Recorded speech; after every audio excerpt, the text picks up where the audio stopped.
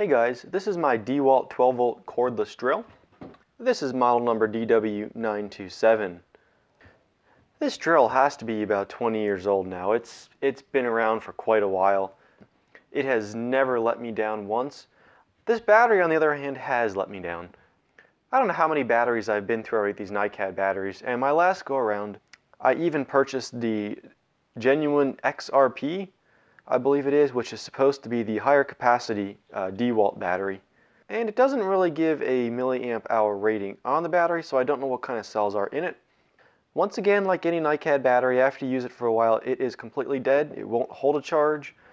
When you charge it up, it self-discharges, it doesn't last long, and I'm getting tired of swapping these out constantly to recharge them during a project. Uh, so rather than purchasing a new drill, I'm going to see if I can open up this battery and rebuild it using lithium cells. So to open this battery up, you'll need a T10 security Torx bit. And the security Torx just means there is a little hole in the end. It's also called a tamper-proof Torx.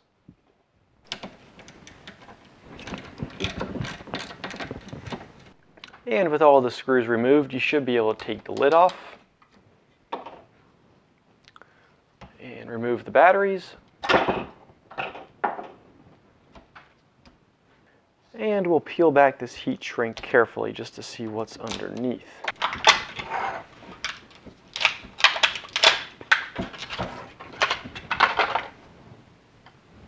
I don't see any markings whatsoever on them to identify what kind of cell they are.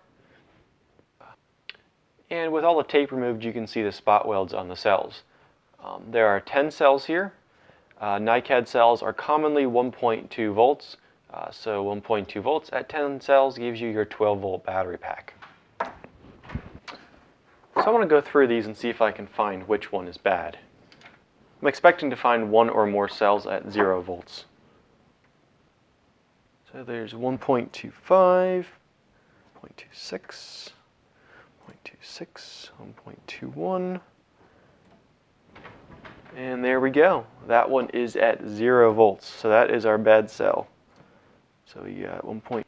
I could just remove this one cell, uh, buy a new NiCad cell, spot weld it in place, and be done. But, you know, NiCad's an old technology. It doesn't last as long. It's got memory effect, and there's just numerous problems with it. If anybody's interested, the form factor of these cells are called sub-C cells. Um, so if you want to go and look that up and see if you can find some for your own battery, you're welcome to. But what I thought I would try to do is rebuild this battery with lithium iron phosphate cells. Now I would have much rather used these A123 batteries. These are 26650 cells, um, 2.5 amp hours per cell. But the problem is I can fit four cells in, but there's not enough room to get the enclosure on because they do stick out a little bit over the top of the enclosure. So the remaining option was pretty much to go with 18650. Now there's actually a lot of space left over with the 18650 cells, uh, and that's fine because I also have to fit a BMS board in here since I'm using lithium, and there is plenty of space to still fit the top of this enclosure back on when I'm done. Now the reason why I chose lithium iron phosphate is because these cells are 3.3 or 3.2 volts nominal, um, whereas a standard 18650 lithium cobalt or lithium manganese is around 3.7 volts nominal. So when wired in 4S, lithium iron phosphate gives a perfect 12 volt battery replacement. So the specific cell I chose was K2 Energy LFP 18650P. And the reason why I went with this cell is because these are power cells. And what that means is they have a maximum operating discharge of 21 amps. Most 18650 lithium iron phosphate cells are only good for about 1 or 2 amps if that, and with a power tool you definitely need more amps. And additionally, they have a pulse discharge up to 30 seconds of 35 amps and a surge pulse discharge of up to 70 amps. Now, these cells have a thick cardboard insulation on top. However, to be safe, because these will be taking some heat and will be spot welding directly to these cells, I still want to remove each cell and apply one of these insulator disc stickers to the top of the cell. Now for placing these cells back in the enclosure, uh, I could use your traditional 18650 cell holders. Uh, the problem with that becomes, because of this plastic support here, uh, I can't fit two of the same cells in because they either hit the support over here or the support over here. So I'm just going to use these little plastic spacer things I harvested out of old 18650 battery packs. And make sure that the polarities are reversed so I have the negative and the positive up. And just tape them together with a little piece of Kapton tape.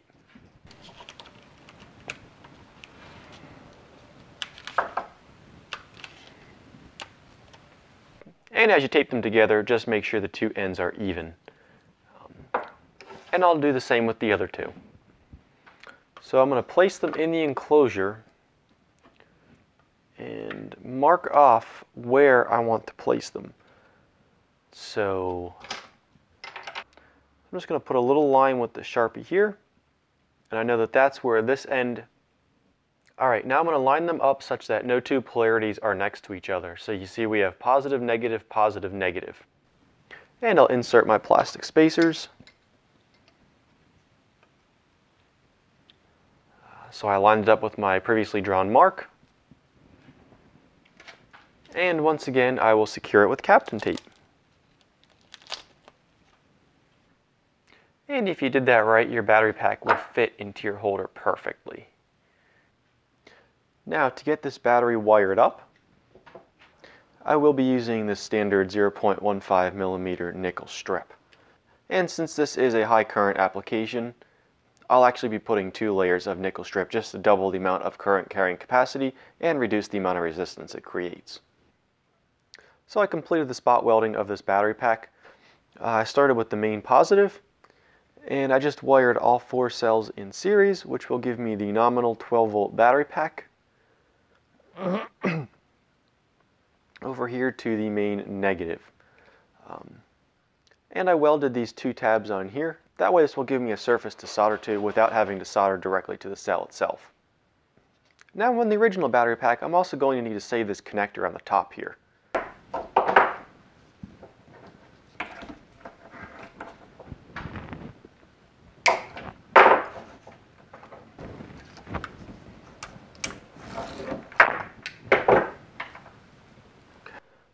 Now I don't need this cell this is connected to, uh, but I do need to be very careful not to damage these two contacts as I remove this because I will need to solder uh, my negative lead to these contacts.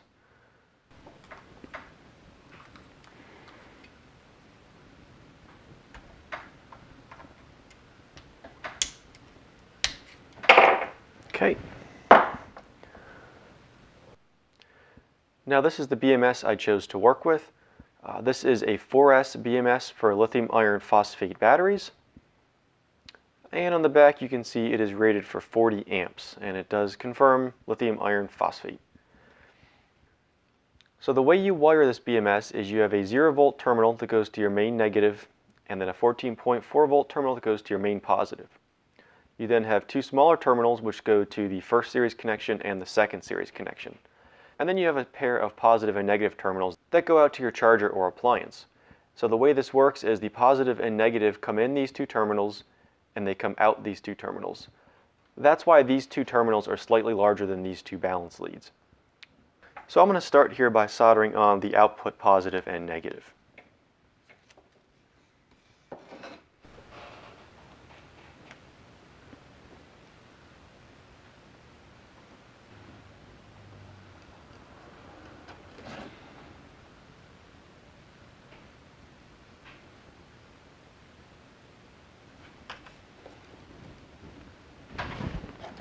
Now ultimately these wires probably should have been fished through the holes in the board, but uh, I did want 12 gauge wire because it is slightly thicker, and unfortunately 12 gauge wire would not fit through these holes. Um, 14 gauge might have fit, but I didn't have any 14 gauge silicone on hand. And I'm trying to do this side a little better than I did the first two connections. Uh, I fished about half of the strands through the hole, and then I just wrapped the remaining strands over the top.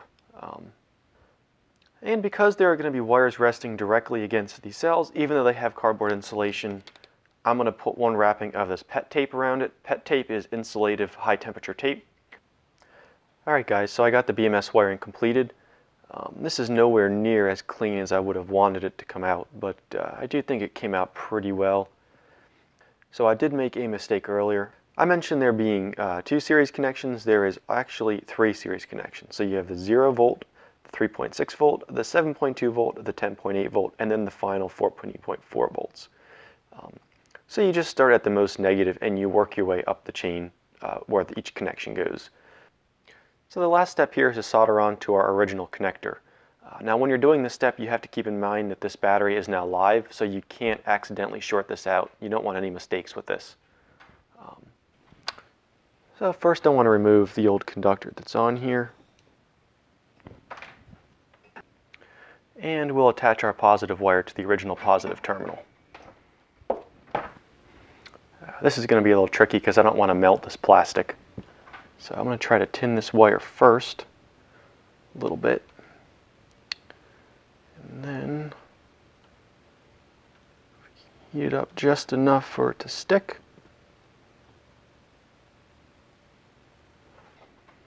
And then I need to solder the negative terminal to this little tab that sticks out here. Alright, and with that being done, the last part is to uh, mount this connector back in this enclosure here. But uh, when we took this apart, this cell was holding this connector at the top of this enclosure. And unfortunately we don't have it anymore, so the only way I can think of to make this work and to stay up there is to epoxy this into place. Um, I'd really prefer not to glue anything, but I don't see any other way to make this happen and hold this in place. So I'm going to go mix up some epoxy and I'll set this into place and hopefully tomorrow will be hardened and we can finally test it out. Alright, it's been two days uh, since this epoxy has been sitting here. It should be hardened up and good to go. So put our battery in our case here.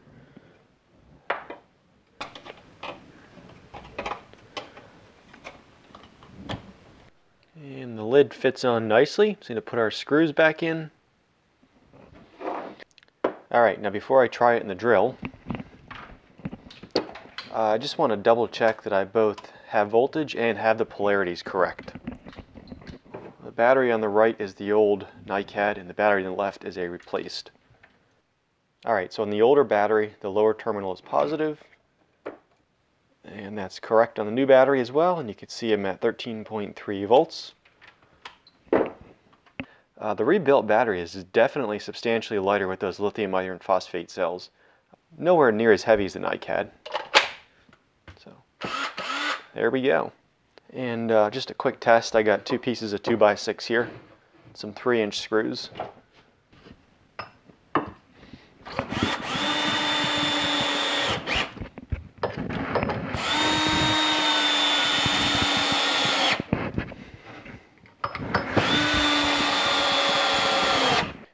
That feels fantastic.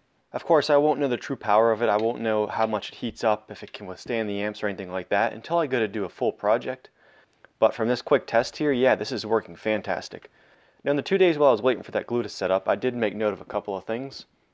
On these old batteries, if you remove the cardboard sleeve, there is a model number printed on the cell directly and it says 1700. So I'm going to assume that this is a 1700 milliamp hour cell. That being said, uh, my 1350 milliamp cell is less than these ones, so I'm not expecting the new battery to last as long as the old battery. With how degraded these ones were, this should still be a substantial improvement. Yeah, I have a project coming up tomorrow where I'll need to use this, and I will definitely post the results of that. And I'll try charging this later too, but charging shouldn't be a problem either. Uh, considering the voltages lying near perfect with 12 volt battery pack, and there's a huge tolerance with these cells. The maximum charge on these are 4.1 volts per cell. Um, now again, I wouldn't go anywhere near that, but you still have quite a bit of room to work with. So once I know if this battery works out well, I'm going to rebuild this one as well. Hopefully you found this interesting. If you did, please don't forget to hit the like button, subscribe, and leave any comments or questions you may have below. Thanks for watching.